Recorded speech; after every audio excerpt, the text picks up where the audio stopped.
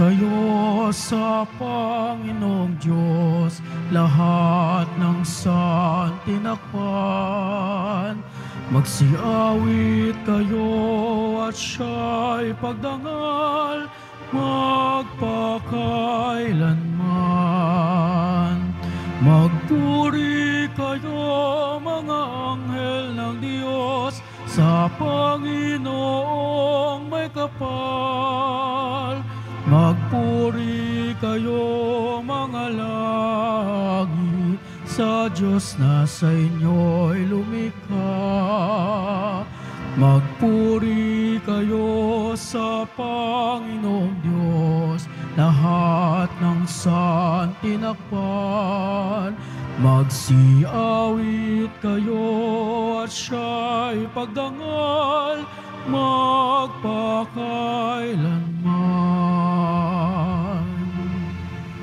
Tayo pong lahat ay natitipon sa ngalan ng Ama at ng Anak at ng Espiritu Santo. Amen. Ang pagpapala ng ating Panginoong Yeso Kristo, ang pag-ibig ng Diyos Ama, at ang pagkikipagkaisa ng Espiritu Santo naway sa inyo lahat. At sumaiyo rin.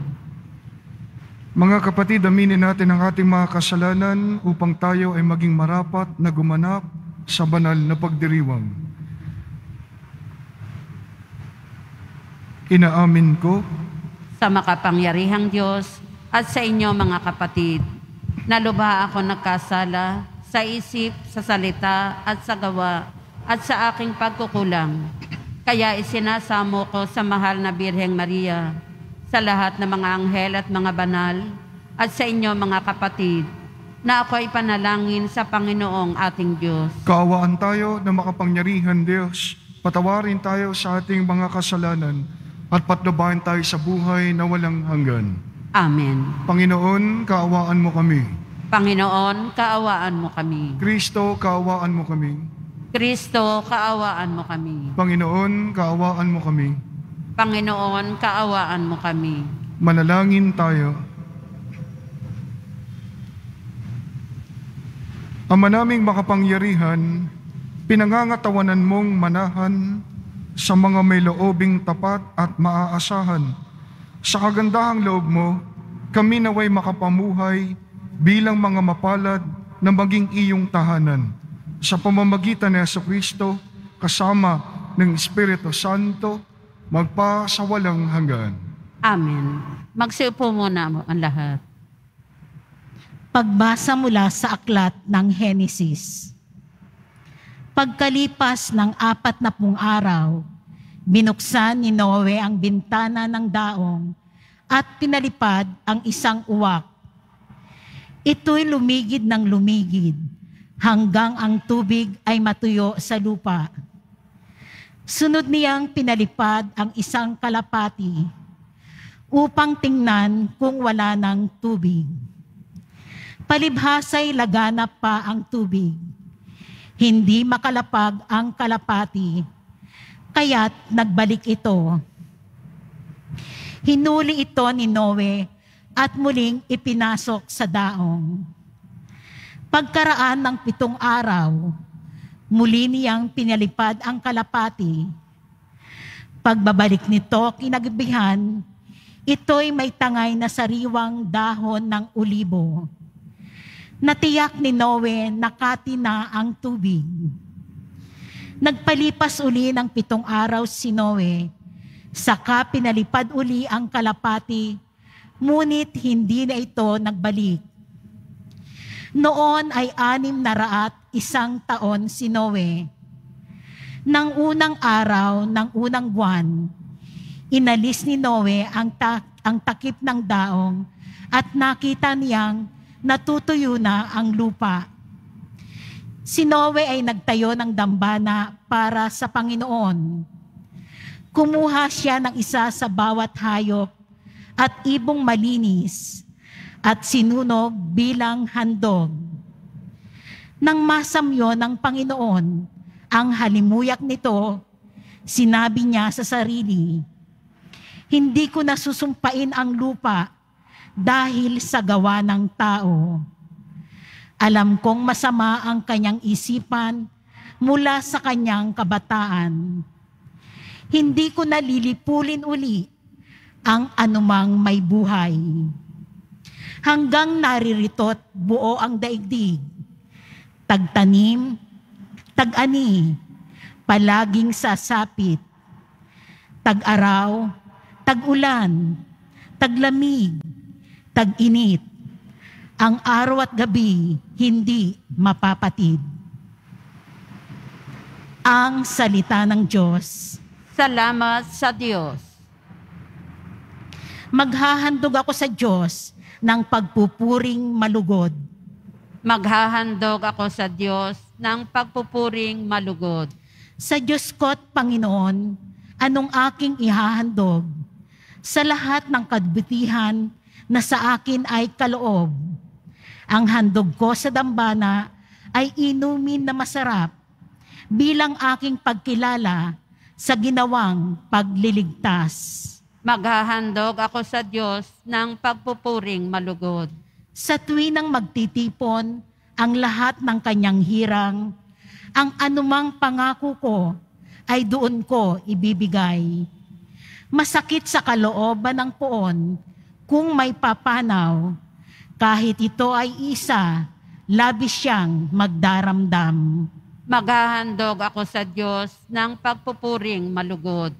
Kapag nagsama-sama ang lahat ng iyong hirang, sa templo sa Jerusalem ay doon ko ibibigay ang anumang pangako kong sa iyo ay binitiwan. Maghahandog ako sa Diyos ng pagpupuring malugod. Magsitayo po ang lahat.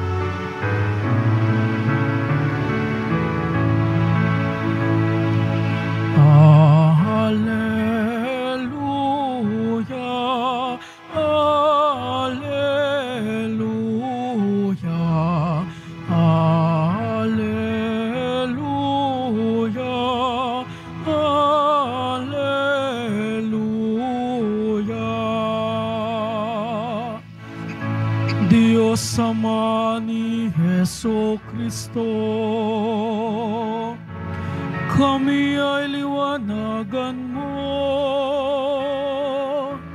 At tutugon kami sa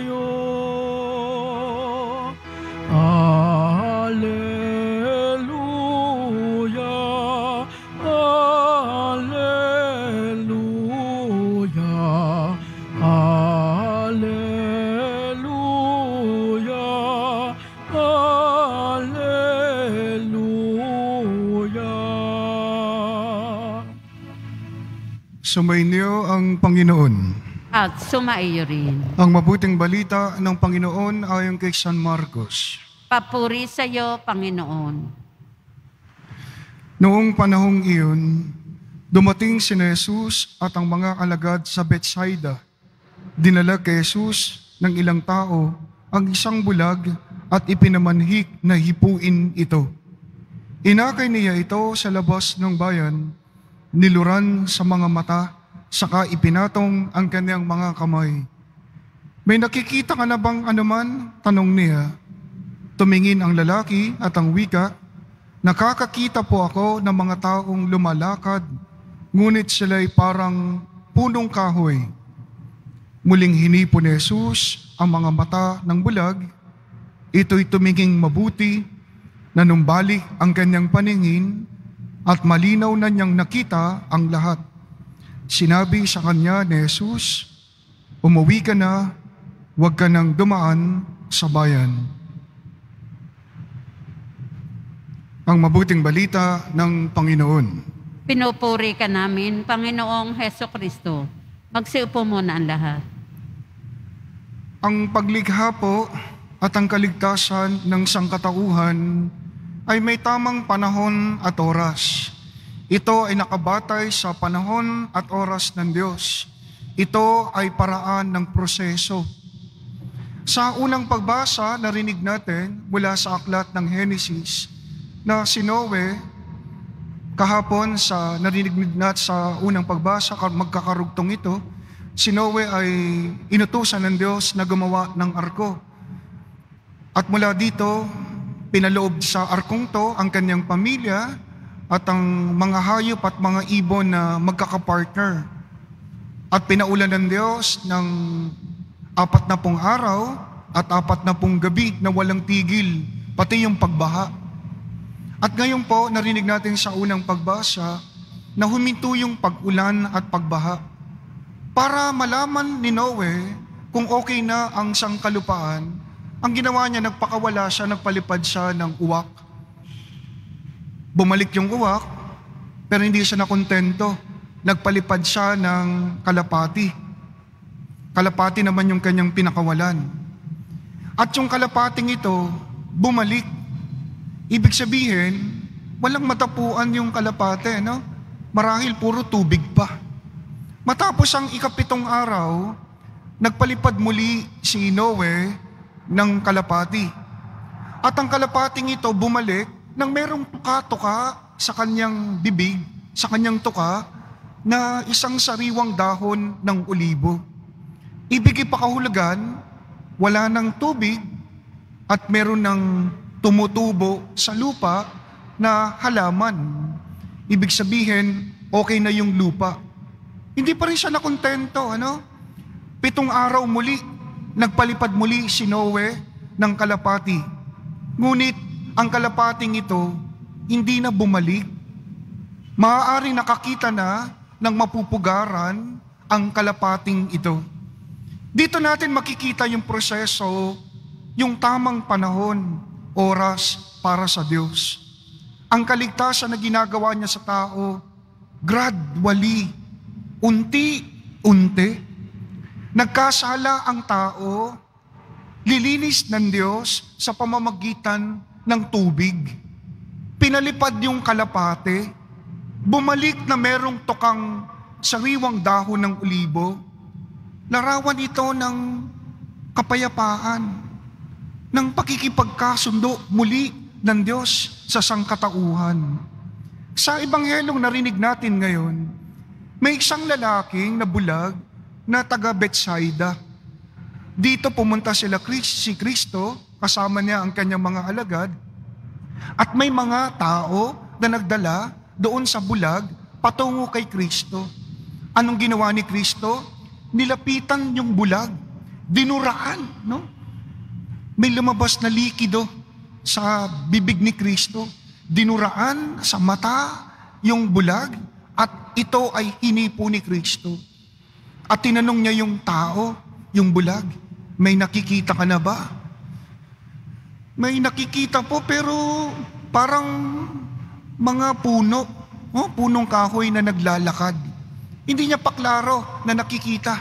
Ang ginawa muli ni Kristo, hinawakan sa mata yung bulag at matapos nito, klarong-klarong nakakakita yung bulag. Nakakakita na siya muli. Ito yung paraan din ng pagbibigay kapayapaan ni Kristo sa sangkatauhan sa pamamagitan ng bulag na kanyang nilurhan. Sa unang pagbasa, sa pamamagitan ng tubig na likido, nalinis ang sangkatauhan. Sa pamamagitan ng banal na pagdura ni Kristo doon sa bulag, sa mata, nalinis din. Nakakita yung bulag. Hinipo at pinagaling ito ni Kristo. Yung pagpapagaling na ginawa ni Kristo ay isa ring proseso. Hindi biglaan. May tamang panahon at oras. Unti, unti. Nung una, hindi pa klaro yung paningin. Sa pangalawang pagkakataon, naging malinaw na. Parang sa unang pagbasa, nagpakawala, hindi pa klaro. May tubig pa. Nagpakawala muli, nagpalipad ng kalapate. Oh, klaro na, okay na. Meron ng buhay. Unti-unti. Nung una, hindi makilala ng lalaki ang kanyang nakikita. Muli siyang hinipo ni Kristo at nakakita ng klaro. Nakita niya ng klaro ang lahat. Ang paghipo ni Kristo ay nagdadala din ng klarong pangunawa sa mga nakikita. Kapag tayo may mga pinagdadaanan sa buhay, ang tingin din natin sa mga pangyayari, hindi rin klaro. Pero kapag ang poong Jesus Nazareno, inilig natin ang kanyang paghipo, ang kanyang pagpapagaling, hindi lang pisikal ang pagpapagaling na kanyang ginagawa. Emosyonal, psikolohikal, spiritual, nagiging klaro sa atin ang lahat-lahat ng mga pangyayari sa ating buhay. Mas nauunawaan natin. Nakakita yung bulag. Pero ang tingin sa tao, para mga punong kahoy lang na gumagalaw. Hindi tao. Ang ginawa ni Kristo, hinipo niyang muli yung tao. At malinaw niyang nakita ang kanyang kapwa tao. Nakita niya na siyang nakakita o pinagaling na hinipo ni Kristo, nakita niya ng klarong-klaro ang kanyang kapwa tao. May mga pagkakataon na tayo ay nabubulagan. Hindi natin klarong nakikita ang ating kapwa. Kadalasan nga kapamilya natin sa loob ng tahanan. Pero parang hindi natin nakikita, nararamdaman, naririnig ang kanilang presensya. Kanino ang problema? Nasa atin na tumitingin. Hindi natin napapahalagahan ang kanilang buhay. Yung pagtrato natin sa tao, hindi bilang isang tao. Hindi kapwa natin na may buhay. Ang pagtrato natin sa kanila, parang mga bagay lang na gumagalaw, na walang emosyon, na walang pakiramdam. Sa pagpapatuloy ng banal na Eucharistiyang ito na ating ipinagdiriwang, hingi natin yung grasya sa Diyos, yung grasya ng kagalingan sa lahat ng ating mga karamdaman at mga kasalanan. Huwag tayong mainip. May tamang panahon at oras ang Diyos. Unti-unti, gradually, at nawa, maging klaro nating makita ang lahat ng bagay na mahalaga sa ating buhay. Lalo na yung pagpapahalaga sa ating kapwa na meron ding buhay. At sa Diyos na pinagmumulan ng kagalingan, pagpapatawad, at buhay na walang hanggan. Amen. Magsitayo po ang lahat.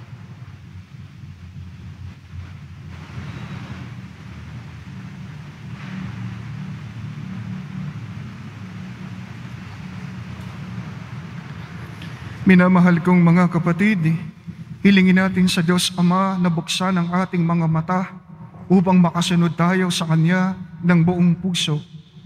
Ama, punuin mo kami ng iyong liwanag. Ama, punuin mo kami ng iyong liwanag. Ang simbahan naway umunlad sa kanyang pagsisikap na dalhin ang liwanag sa mga nakararanas ng kadiliman sa kanilang buhay, manalangin tayo. Ama, punuin mo kami ng iyong liwanag.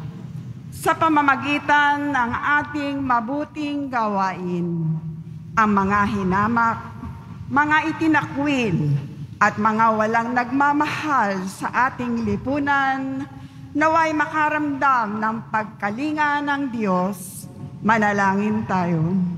Ama, punuin mo kami ng iyong liwanag. Tayong lahat naway magkaroon ng matatag na pananalig kay Jesus na siyang nagbubukas ng ating paningin, kagandahan ng kaharian ng Diyos, manalangin tayo. Ama, punuin mo kami ng iyong liwanag. Ang mga may sakit at nagdurusa, naway makita at madama ang pagmamahal ng presensya ng Diyos sa mga taong kumakalinga sa kanila. Manalangin tayo. Ama, punuin mo kami ng iyong liwanag. Sa katahimikan at ita sa Diyos ang ating mga pang-personal na intensyon.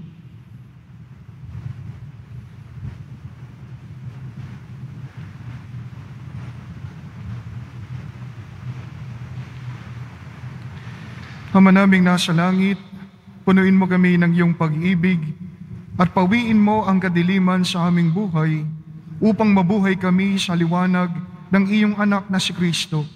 Inihiling namin ito sa pamamagitan ni Kristong aming Panginoon. Amen. Magsiupo muna ang lahat.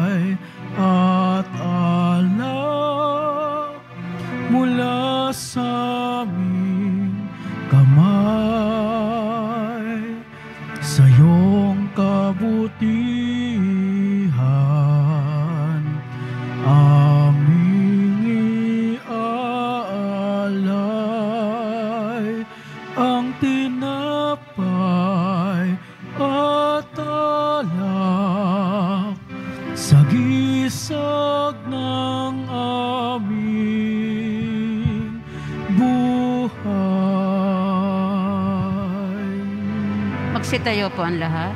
Malalangin kayo mga kapatid upang ang paghahain natin ay galugdan ng Diyos amang makapangyarihan. Tanggapin nawa ng Panginoon itong paghahain sa iyong mga kamay, sa kapurihan niya at karangalan, sa ating kapakinabangan at sa buong sambayanan niyang banal. Ama naming lumikha, kami naway dalisayin at panibaguhin ng aming gaganaping paghahain. Kami naway itaguyod ng gagawin naming ito sa pagnanais naming sundin ang loob mo sa pamamagitan ni Yeso Kristo kasama ng Espiritu Santo magpa sa walang hanggan. Amen. Sabayin niyo ang Panginoon. At sumaiyo rin. Itaas sa Diyos ang iyong puso at diwa.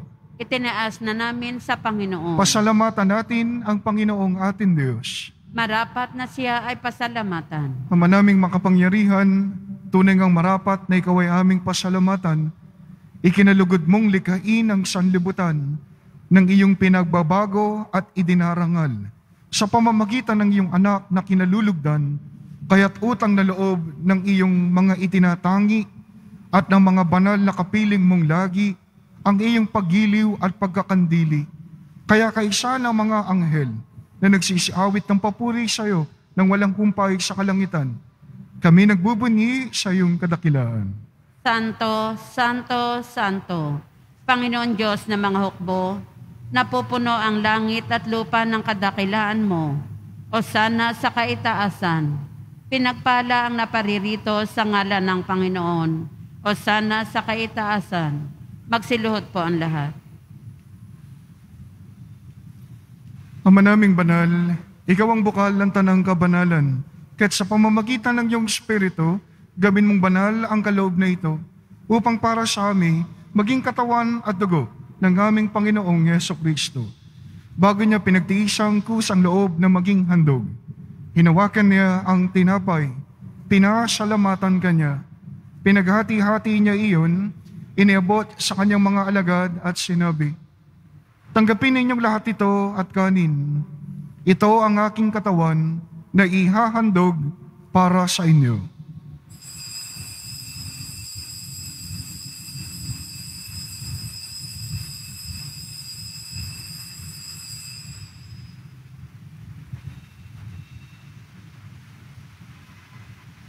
Gayun din naman nang matapos ang hapunan, hinawakan niya ang kalis, muli kanyang pinasalamatan, iniabot niya ang kalis sa kanyang mga alagad at sinabi, Tanggapin ninyong lahat ito at inumin.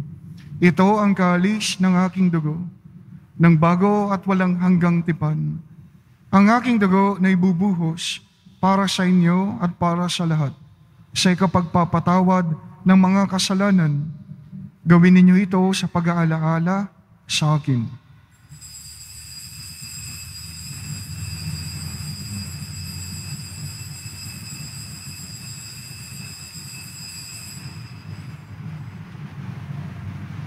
Magsitayo po ang lahat. Ipagbunyi natin ang misteryo ng pananampalataya. Si Kristo'y namatay, si Kristo'y nabuhay, si Kristo'y babalik sa wakas ng panahon. Ama, ginagawa namin ngayon ang pag-aalaala sa pagkamatay at muling pagkabuhay ng iyong anak. Kaya tiniaalay namin sa iyo ang tinapay na nagbibigay buhay at ang kalis na nagkakaloob ng kaligtasan. Kami nagpapasalamat dahil kami iyong minarapat na tumayo sa harap mo para maglingkod sa iyo. Sinasamo namin kami magsasalo-salo sa katawan at dugo ni Kristo ay mabuklod sa pagkakaisa sa pamamagitan ng Espiritu Santo. Ama, lingapin mo yung simbahang laganap sa buong daigdig. Puspusin mo kami sa pag-ibig kay San Francisco na aming Papa at ni Jose na aming Obispo at ng Tanang Kaparian. Alalahanin mo rin ang mga kapatid naming nahimlay nang may pag-asang sila'y muling mabubuhay, gayon din ang lahat ng mga pumanaw. Kaawaan mo sila at patuloyin sa iyong kaliwanagan. Kaawaan mo at pangindapating kami lahat na makasalo sa iyong buhay na walang wakas. Kay sanang mahal na Maria na ina ng Diyos, si San Jose na kanyang kabiyak puso, kay sana mga apostol, San Juan Bautista at ang lahat ng mga banal na namuhay dito sa daigdig ng kalugod-lugod sa iyo.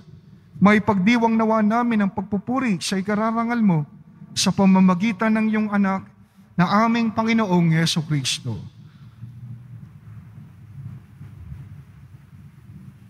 Sa pamamagitan ni Kristo, kasama niya at sa Kanya, ang lahat ng parangal at papuri ay sa iyo. Diyos amang makapangyarihan, kasama ng Espiritu Santo, magpa sa walang hanggan. Amen.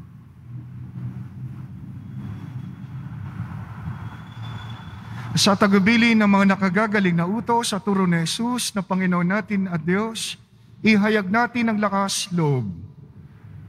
Ama namin, sumasalangit ka. Sambahin ang ngalan mo. Mapasa amin ang kaharian mo. Sundin ang loob mo dito sa lupa para nan sa langit.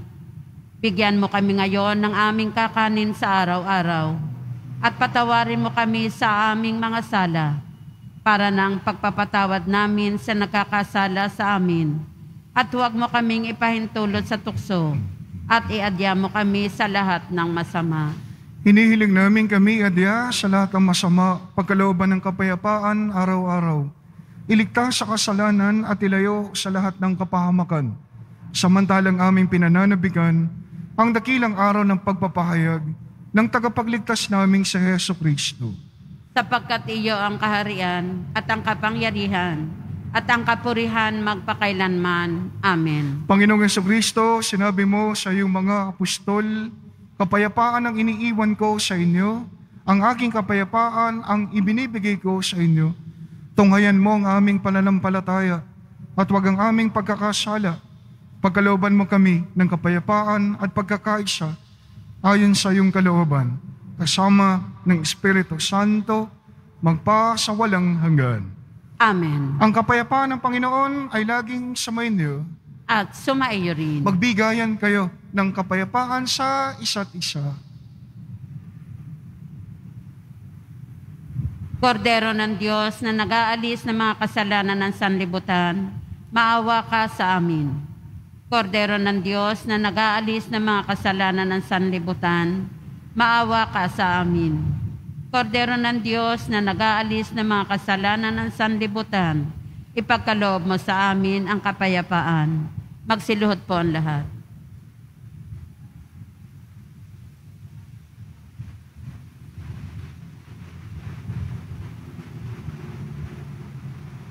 Ito ang kordero ng Diyos. Ito ang nag-aalis ng kasalanan ng sanlibutan. Mapalad ang mga inaanyayahan sa kaniyang piging. Panginoon, hindi ako karapat dapat na magpatuloy sa iyo, ngunit sa isang salita mo lamang ay gagaling na ako.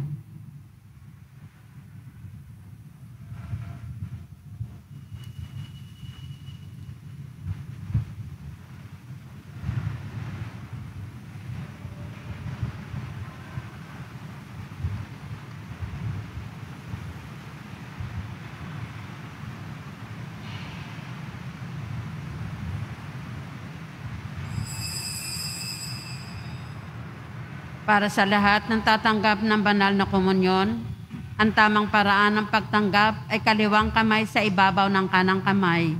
At sasagot po tayo ng amen. Pagkasabi ng pari o, lang, o ng lay minister ng katawan ni Kristo. At isubo sa bibig bago umalis sa harapan ng pari o lay minister. Sumunod po tayo. Maraming salamat po.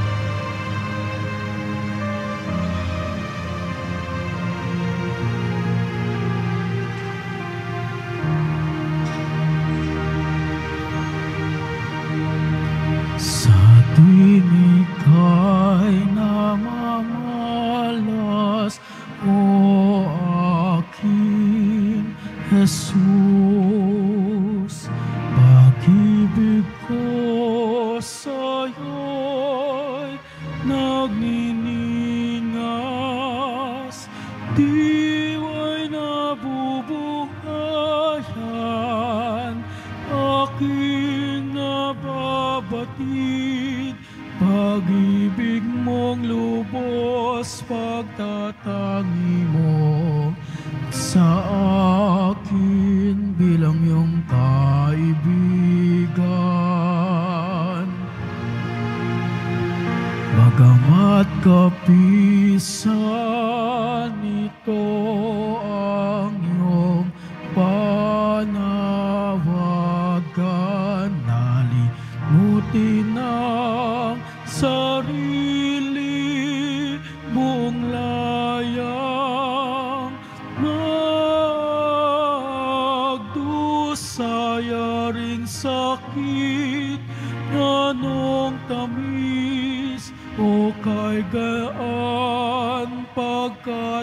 ito'y landas tungo sa iyong kaharian.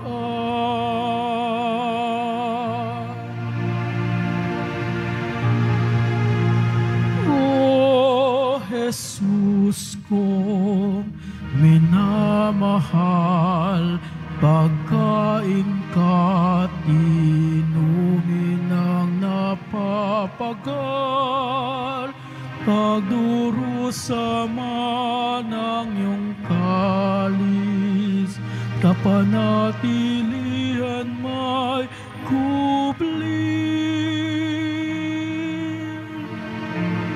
Ang aking nais makapiling ka sa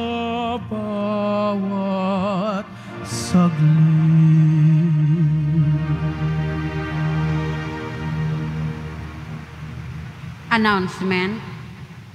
Kung kayo po ay mayroong naitatabing mga lumang palaspas noong mga nakaraang taon, ay maaari nyo na pong dalhin dito sa ating simbahan. Ito po ay susunugin sa February 21, pagkatapos na ikalima ng hapon na misa. Ang abo mula rito ang siyang gagamitin sa Ash Wednesday, February 22. Maraming salamat po. Patuloy pong pinapaalalahanan ng lahat na huwag maging kampante sa banta ng COVID-19. Pagkos dapat nating ipagpatuloy ang tamang pagsunod sa minimum public health standards sa ilalim ng Alert Level 1. Sa oras na makaramdam ng sintomas, agad na mag-isolate. Para sa dagdag na proteksyon laban sa banta ng COVID-19, agad-agaran na tayong magpabakuna at booster. Pagkatapos ng misa, wiwisikan po ang lahat ng banal na tubig. Pinakikiusapan ng lahat na manatili lamang muna sa inyong mga lugar o kinauupuan. Pagkatapos ng pagwiwisik, mangyari lamang na maupo muna ang lahat ng nasa loob ng simbahan at hintayin banggitin ang grupo ng inyong inuupuan bago po kayo lumabas ng simbahan. Tanging sa Quezon Boulevard lamang ang labasan ng lahat. Sumunod po tayo. Maraming salamat po sa inyong pagdalaw at pagsisimba sa Basilica Minor ng Itim na Nazareno.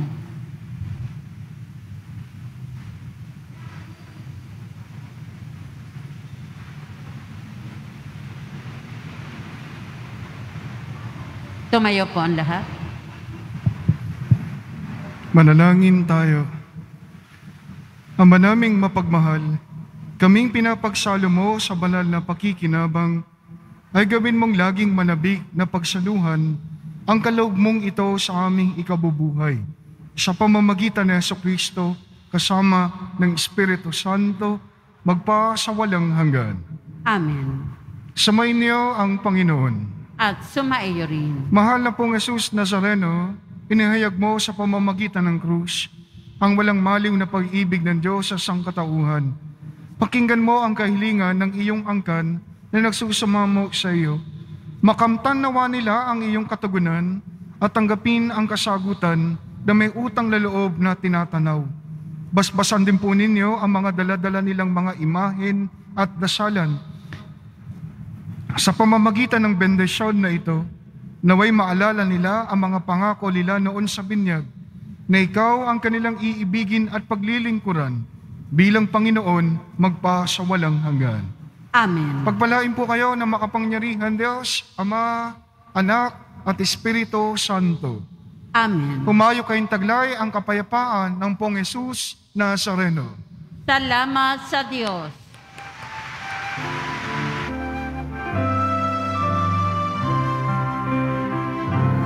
Nuestro Padre Jesús Nazareno, sinasamba ka namin. Pinipintuho ka namin. Aral mo ang aming buhay at kaligtasan. Nuestro Padre Jesus Nazareno, iligtas mo kami sa kasalanan. Ang krus mong kinamatayan ay sagisag ng aming kaligtasan. Nuestro Padre Jesus Nazareno, dinarangal ka namin. Nuestro Padre Jesus Nazareno, nilulualhati ka namin. Nuestro Padre Jesus Nazareno, dinarangal ka namin. Nuestro Padre Jesus Nazareno, nilulualhati ka namin.